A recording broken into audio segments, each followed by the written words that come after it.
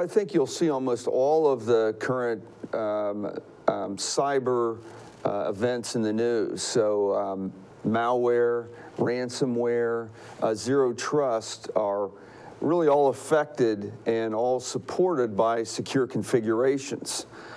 Uh, managing a system well gives you tremendous security value.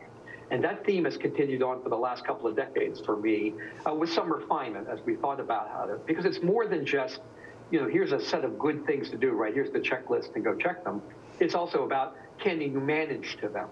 And that's the world where Brian and his work comes in, which is, you know, I, I need to have a good starting point for managing security defense, but I also really need to recognize that things are going to constantly change. It's not good enough to have uh, a configuration checklist unless you can put in place the management resources to sort of dynamically refresh your understanding, manage to it, look for variation from it, look for the inevitable decay when, you know, as operations go on and on. A good security management is around configuration management.